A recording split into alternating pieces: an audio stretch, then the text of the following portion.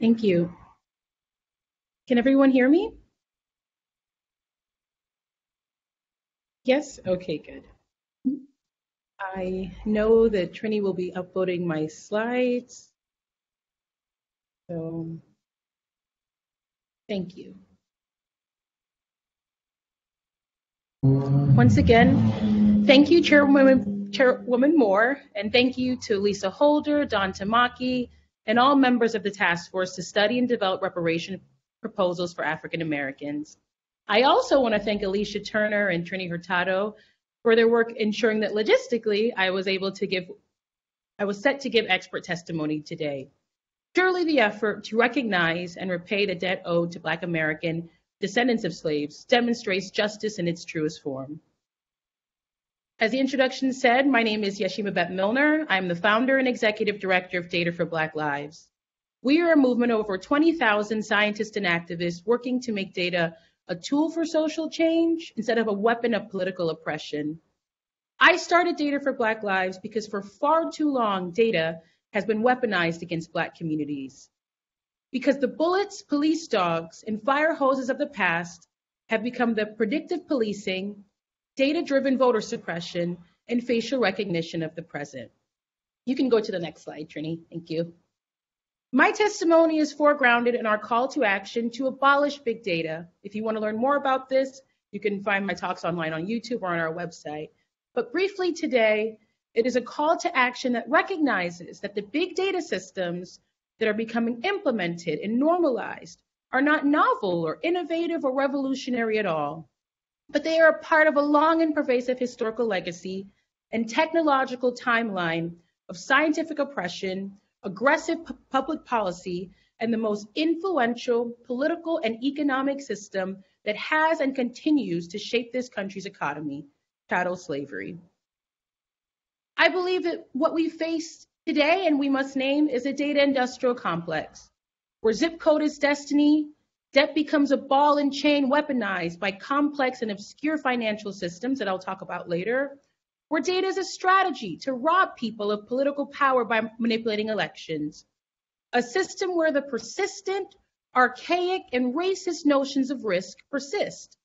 Narratives that are more powerful and impenetrable than any prison cell or shackles or holds that could ever be built. And go to the next slide.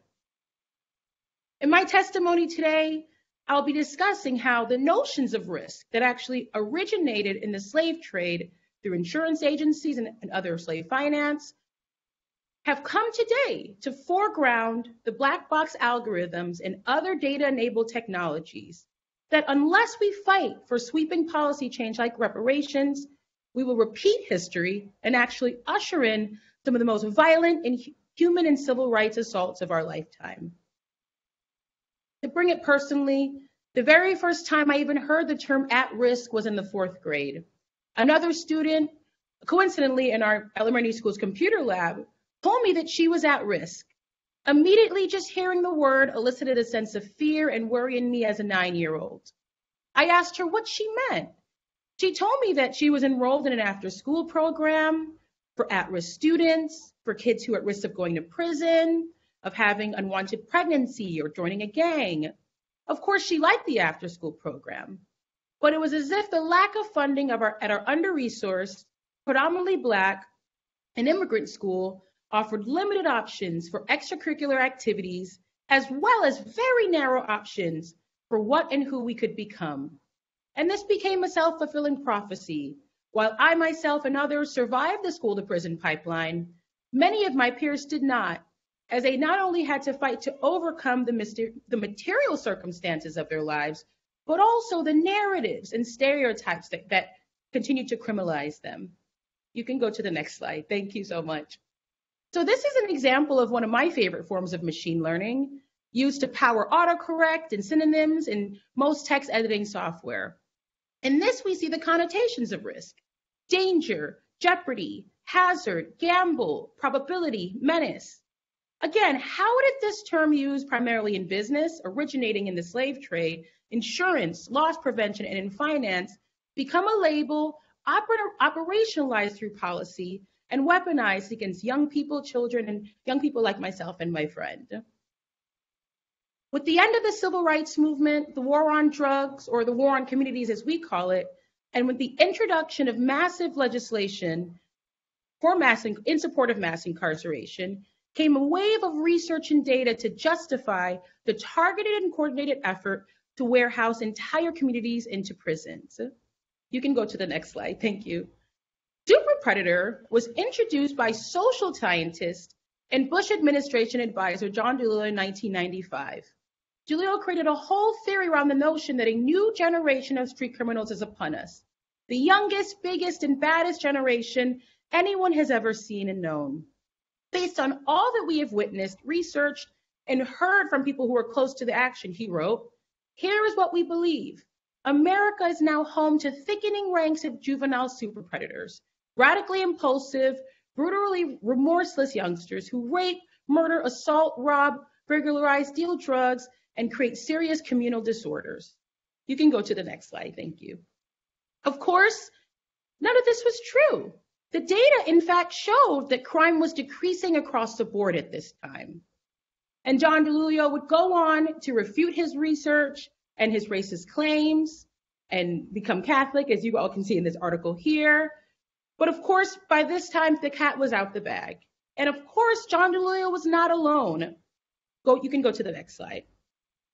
In the 1980s, well before Super Predator, Dr. Ira Chasnoff built an entire career off of the crack baby myth, which was based on a flimsy study consisting of only 23 participants. Of course, his hypothesis was lockstep with the most racist political intentions, a fear that one day a generation of children will grow up to be crack addicted and a burden to civil society. All of this was wrong, and the study should have been refuted based on the sample size alone. But it was not, and the myth persisted even though again the reality was opposite. One of the babies from the study grew up to be a healthy, functional, and quite exceptional young woman, the first in her family to graduate from college. It was found that poverty, rather than crack addiction, which then was a proxy for blackness, was found to be more harmful in a child's life. You can go to the next slide, thank you.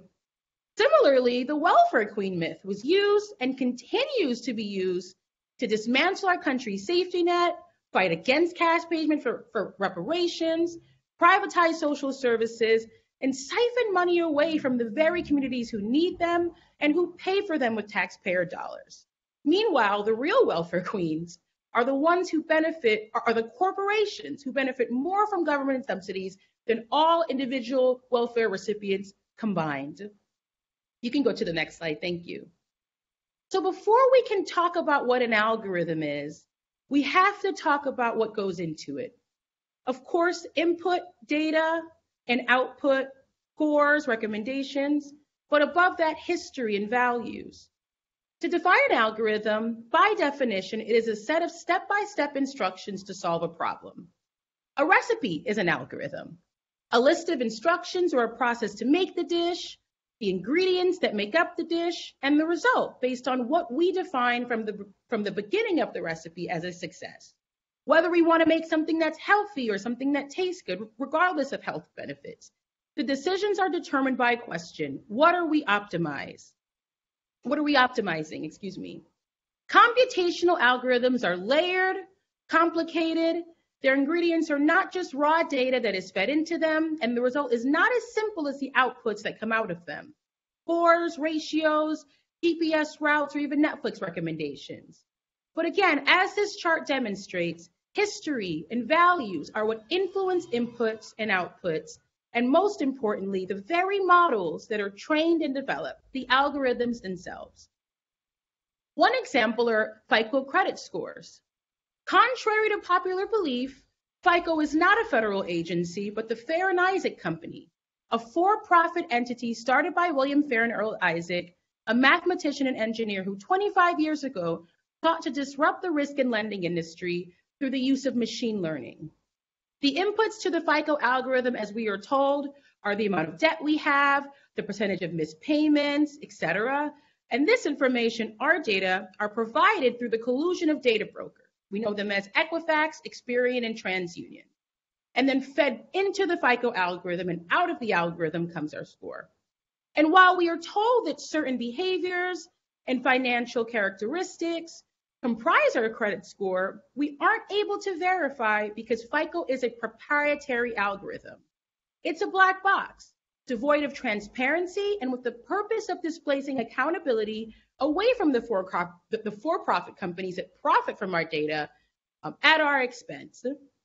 And also, FICO scores reflect the ways in which algorithms hold tremendous power over our lives, even though we have no recourse.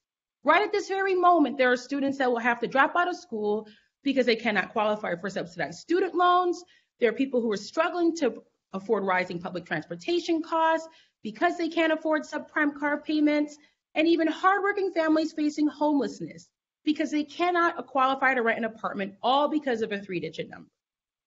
And these three digit numbers are, it will increasingly decide whether we should get hired for the job and maybe even someday, even whether we'll be able to vote. And while it is in violation of federal law to deny people housing, employment, and education based on race, you can't sue an algorithm. And private companies like FICO, who I must also mention, it is in their best interest to ensure that some people have low scores and others don't, argue that their algorithms don't discriminate. They say nowhere in that, in that algorithm or in their input is race a variable.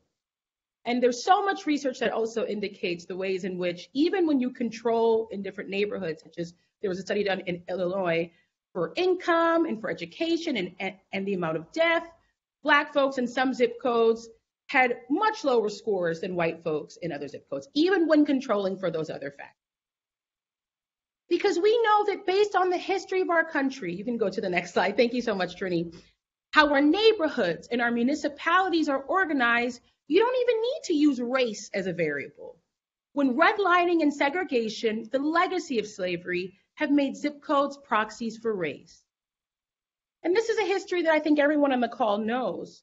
But only seven generations after slavery, six million African Americans left the South for the industrial centers of the North, Midwest, and West Coast of this country in a, in a, in a historical moment known as the Great Black, Great Black Migration.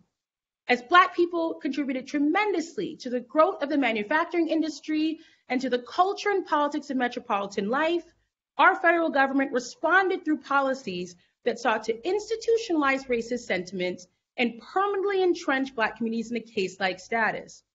Policies that were foregrounded in the most essential part of economic mobility in the US, home ownership. You can go to the next slide. Thank you again. In 1933, as part of the New Deal, the Homeowners Loan Corporation developed a grading system that deemed some areas desirable while others hazardous. These areas were largely minority areas, many Black, and today, 74% of the areas deemed hazardous, quote unquote, according to, according to this grading system, in 1933 re- remain today low income, under resourced, and neglected.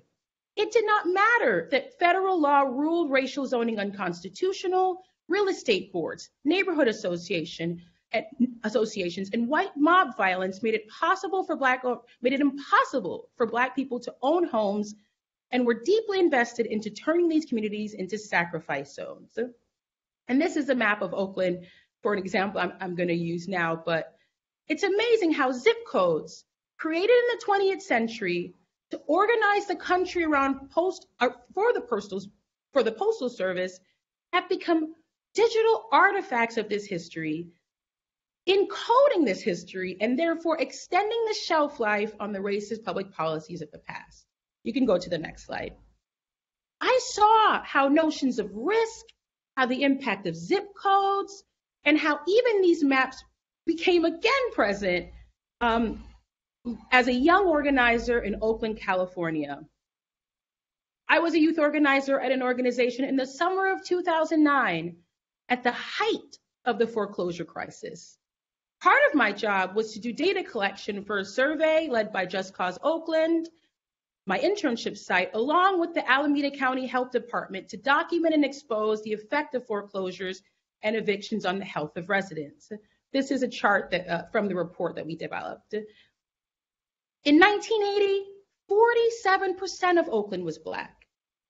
Today, according to the 2020 census, Black people make up less than 24% of Oakland's population, although the population of the city itself has been growing for years. How did it happen that since 2010, with over 50 new white and Hispanic Oakland residents have moved into Oakland and have been able to take advantage of opportunities of being in a booming metropolitan hub, while the black families that built the city and laid roots were forced to leave the city in droves. And one way that I witnessed firsthand was through the targeting of black communities through the complex financial schemes that resulted in the foreclosure crisis of 2010. In addition to my role doing data collection that summer, my job was to also organize residents in West Oakland to stand with their neighbors against the banks. And I love that somebody brought up the banks. I think uh, Miss Kelly Ferris, I wrote your name down. In the event of a foreclosure eviction, which were happening daily, every day, I met with residents who had fallen victim to predatory lenders, who, with the promise of more affordable mortgages, or a second mortgage to help cover medical bills or pay for renovations and repairs were aggressively targeted for subprime, subprime predatory lending. Next slide. People like Miss Elizabeth, whose family had left the sharecropping conditions of the South to come to California, a state that held the promise of opportunity that was not possible in the South and much harder to achieve in the cold and racist North. Miss Elizabeth's husband found work in the West Oakland Navy Yard like so many other black men born only a generation away from slavery. The Victorian house that they bought and where she and her husband raised their children and even their grandchildren was seized in only nine months after a nice representative, quote unquote, from the bank visited her daily, promising that with a second mortgage, which they said she qualified for, she'd be able to pay back medical bills that piled up since her husband's death and even leave some cash for her children to do necessary renovations. She was told that all these payments would be well under the amount she received monthly from Social Security and pensions. But they did not tell her that she was given an adjustable rate mortgage and that her mortgage would balloon in months to far from what she could afford, making payments too expensive and causing her to default on her payments and lose her home. As you can see in the map, the rate of defaults, as well as where we see that the, the hazardous mapping definitely overlays. It shows a trend and it shows the, the extent of the targeting as well. And they definitely did not tell Miss Elizabeth that her mortgage was being repackaged with other mortgages and pooled together in these complex and obscure financial schemes, securitize and then re-securitize credit as credit default swaps, and that there was a lot of money being made by banks and hedge funds betting on her inability to be able to pay this adjustable rate mortgage. When Black families all across California and all over the US shuttled their belongings into storage units, closed the doors in their mother's or father's home for the last time, or like Miss Angela, another leader I worked with, became sick from legal battles with Wachovia Bank because her home was defaulted due to robo-signed documents. They literally had an automated system that signed people's documents to push forward default and foreclosure. But all this happened, bank executives and hedge fund managers walked away with a slap on the wrist, millions in bonuses, and have even been since awarded with positions in the former and present political uh, presidential administration. In fact, if the federal government is ever in need of an example, how to redistribute cash payments, and in a large amount, they should look no further than 2009. Big banks that were deemed too big to fail were given the biggest bailout and the biggest example of reparations I think we'd ever seen under the Dodd-Frank Act to the tune of trillions. In fact, we are still calculating exactly how much money banks received. While people like Miss Angela, Miss Elizabeth, and all the people that I worked with that summer in Oakland lost their homes permanently. The foreclosure crisis was a man-made crisis against Black families, Black homeownership, and Black stability. You can go to the next slide. Thank you, Trini. And today, there are many other examples of how notions of risk are being perpetuated through black box algorithms and weaponized against Black communities. I know my co-panelists will likely provide more context on others, but if we look at this theme of risks more, we see we see this evident in risk assessment questionnaires, where instead of jury and, and instead of judges, people are being sentenced to time based on questions like, were you suspended? Or does a hungry person have a right to steal? Knowing that with a question like suspension, in many counties and, and states, Black students are eight or nine, ten times more likely to be suspended than, than their white peers, not because they're bad kids, but because of racist entrenched practices and policies in schools. In the area of car insurance, we see here that um, this is a mapping of, of Chicago. On the on the left here is the homeowner loan, corporation map, and on the right is is a map in, in the dark pink where where people have to pay the highest premiums. Literally, people are paying people in black neighborhoods are paying more on insurance premiums, even though there's less crime than folks who live in wealthier, whiter, more downtown areas. Next slide, please. And it's even getting into health. This is an article from an investigation that I think is still going on with United Health and their algorithm that literally used cost of care or how much people are able to spend on care to determine health risk and therefore care needs. Of course, this algorithm, which was used on hundreds of millions of, of patients, neglected and denied care to Black patients who are more at risk. Because again, we live in a country where who has the health insurance to be able to pay out more for care? Not Black folks, white folks, and other folks. And this is another example of the way in which, an interesting way, in this case, Black people were more at risk, but it was used to deny them care. You can go to the next slide, thank you. But we also, to kind of conclude and wrap up, remember, as folks in our network always say, Black Americans arrived here on balance sheets, and, them, and they themselves, us, we were collected for, as collateral for debt owed. And so none of these practices are surprising, but they should inspire urgency. Uh, you can go to the next slide. This is one example that I like to show in my presentations and research of a balance sheet uh, used by a slave plantation in British Guyana, where actually my family uh, were enslaved and where we're fighting for reparations there. Um, and literally, there was a line for each day and columns for many types of categories of enslaved men, women, and children. They include in the field, watchmen, house servants, carpenters, children's invalids, runaways. The daily process of dehumanization was deeply numerical. Right below these abstracts were identical reports for livestock. The Negro account and livestock account use the same methods of taking an inventory, calculating increase and decrease, purchase, sale, birth, with little difference made for man, woman, child, oxen, goat, and cattle. And of course, it's not lost on me that the name of this plantation was also called Hope and Experiment. One person mentioned that JP Morgan Chase, and it's true, JP Morgan Chase, currently the biggest bank in the US, admitted that its subsidiaries accepted enslaved people as collateral for loans. So we're talking about loans, we're talking about payment, we're talking about default. If plantation owners defaulted on loan payment, the bank took ownership of enslaved Africans. And JP Morgan was not alone. The other predecessors made up, their predecessors made up Citibank, Bank of America, Wells Fargo's, and a whole list of other financial firms. You can go to the next slide. And finally, to conclude, I want to wrap it up so I have time for other folks to speak. The story of Black Americans, slavery, and algorithmic discrimination, again, what we are fighting against is not new, but you can really literally pull a, a, a thread through all of these events in history over the last four to 500 years. And as the late civil rights scholar Lani Guinier wrote, Black folks in America, when it comes to algorithmic discrimination, are like miners in a canary, miners' canaries. Miners often carry the canary into the mine alongside them. The canary's more fragile respiratory system would cause it to collapse from noxious gases long before humans were affected, thus alarming miners to, to danger. The, the canary's distress signaled that it was time to get out of the mine because the air was becoming too poisonous to breathe. As she writes, those who are racially marginalized are like the miners' canaries. Their distress is the first sign of danger that threatens us all.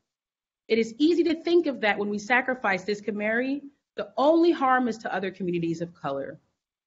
Yet others ignore problems that converge around racial minorities at their own peril, for these problems are synonymous warning that we are all at risk.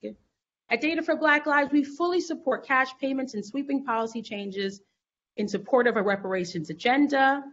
And we, we believe that this has to be done not only to repair the harm done and what has been taken and lost, but we must do it in order to secure the civil and human rights for Black Americans and literally everyone else in the age of big data.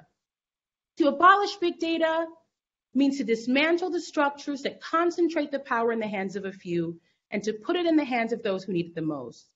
At Data for Black Lives, our mission is to reclaim data as power, as protest, and as collective action. Thank you.